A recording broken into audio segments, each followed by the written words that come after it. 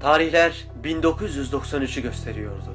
Uğur Mumcu, devlet, PKK ve bunların İsrail ile bağlantılarını araştırıyordu.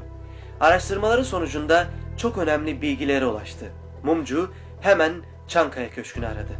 Cumhurbaşkanı Özel ile bir randevu talep etmiş, yaptığı araştırmalardan bahsedip çok önemli delillere ulaştığını bildirmişti. Özal duyduklarına inanamadı. Hiç düşünmeden Mumcu'nun sözünü kesti. Eşref Bitlis Paşa ile görüşün ve birlikte yanıma gelin dedi.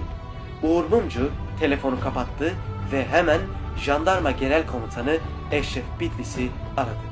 Paşa konunun önemli olduğunu anlamıştı. Uğur Mumcu konuyu paşaya anlatırken Turgut Özal da konuyu danışmanı Adnan Kahveci'ye paylaştı.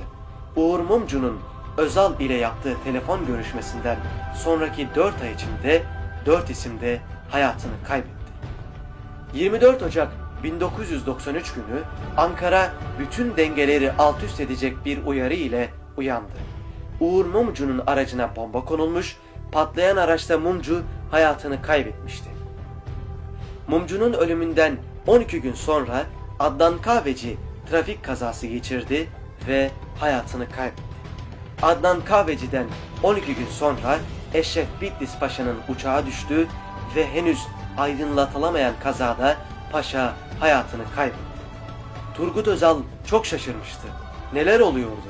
Karşısında nasıl bir gücün olduğunun farkına vardı.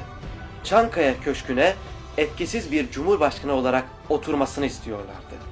Adnan Kahveci ve Eşref Paşa ani bir suikastla öldürülüp korku salınarak Özal yalnızlaştırıldı. Özal planlar yapıyordu fakat Eşref Bitlis'in ölümünden iki ay sonra Özal ani bir şekilde hayatını kaybetti.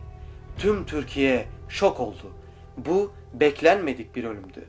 Özal öldükten bir hafta sonra PKK Türkiye'deki en büyük eylemlerinden birini yaptı.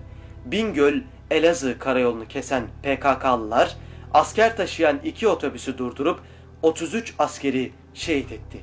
Ve devlete de devletin içindeki milli kanada da son mesajda verilmiş oldu. Milli kararlar alıp uygulayamazsanız kurduğumuz oyunu bozanlara böyle yaparız mesajıydı bu.